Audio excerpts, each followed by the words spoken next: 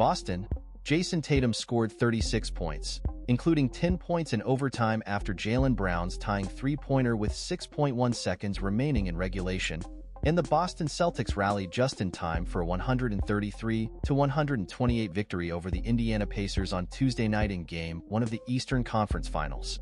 Jrue Holiday added a season-high 28 points for the Celtics, and Brown finished with 26. Game 2 is set for Thursday night in Boston.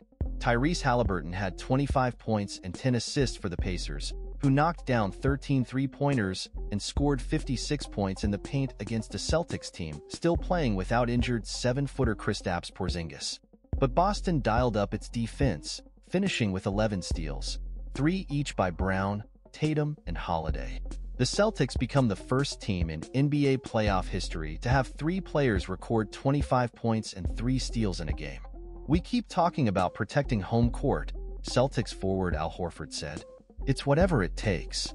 Pascal Siakam added 24 points and 12 rebounds, and Myles Turner finished with 23 points and 10 rebounds for the sixth-seeded Pacers, who twice turned it over with a three-point lead in the final 30 seconds of regulation. Brown made Indiana pay for the second one, hitting a three from the corner with Siakam right in his face to tie it at 117 and force overtime. Pacers coach Rick Carlisle said the loss was totally on me for not calling a timeout to advance the ball before their turnover that set up Brown's shot. The Celtics are now 2-2 when their opponent scores 100 or more points.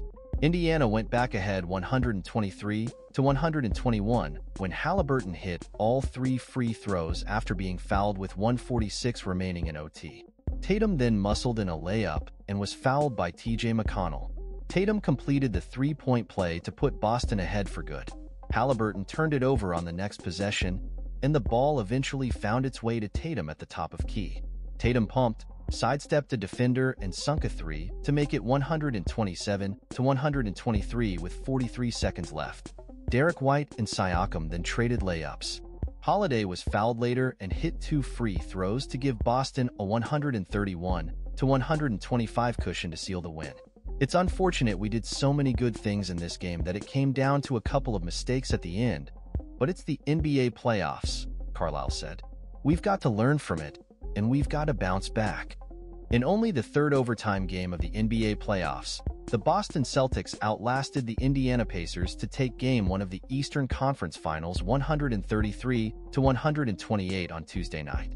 Boston outscored Indiana 16 to 11 in overtime to survive. Jaylen Brown hit a corner three with 5.7 seconds left to tie it and send it to overtime after Indiana took a lead late.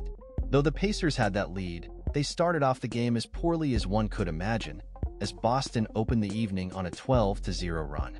Indiana came roaring back, however, with 22 first-half assists and tied things up at 64 going into halftime on a Tyrese Halliburton 3.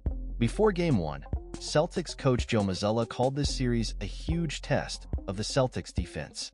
He believed Indiana's unpredictable spacing, constant motion, and breakneck pace would present unique challenges. Throughout the regular season, nobody played faster than the Pacers. They entered Tuesday ranked first in the playoffs in offensive efficiency after finishing second, trailing only Boston during the regular season. Boston's defense will need to lock in over the rest of the series to give itself an easier time.